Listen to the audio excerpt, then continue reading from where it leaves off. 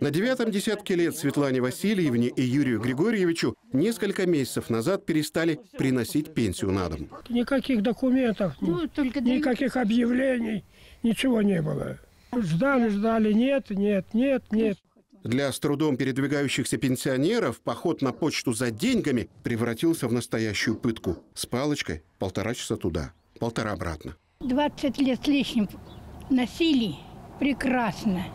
Придут, спокойно получишь. А сейчас что такое? Нет и нет пенсии. Вот э, уже третий месяц.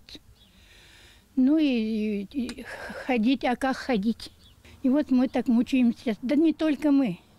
Многие же ведь так. Соседка у нас такая же. Да многие такие люди.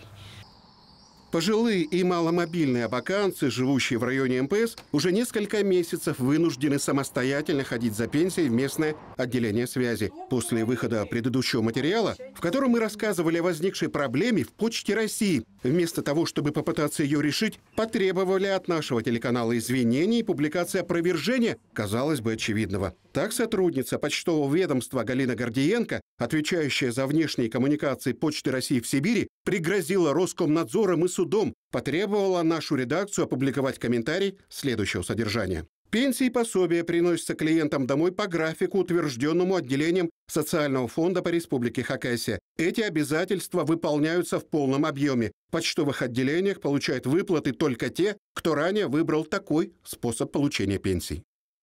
Вы не писали заявление, что вы отказываетесь, что вам будут приносить пенсию, что вы будете приходить за ней сами?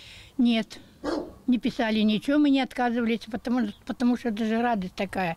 Пришли, получили, еще и конфеточек купили. На почте что говорят сейчас? Некому работать, все поуволились, в раз главное. О том, что почтальонов не хватает, свидетельствует объявление на дверях отделения. Да и по словам пожилой семейной пары, женщина, долгие годы приносившая им пенсию, сама сообщила, что уволилась. Она говорит, что совсем мало платят. Она уже на пенсии тоже сама и сама работала. И говорит, не могу говорит, работать. Еще мало того, что дают еще им нагрузку таскать, продавать. А продают они же еще с накруткой. Ну а что делает? Мы, я, я примерно, чтобы ее облегчить, всегда покупаю то э, консерву какую-то, то конфеты или печенье. чай. Ну, покупаем, потому что э, жалко человека.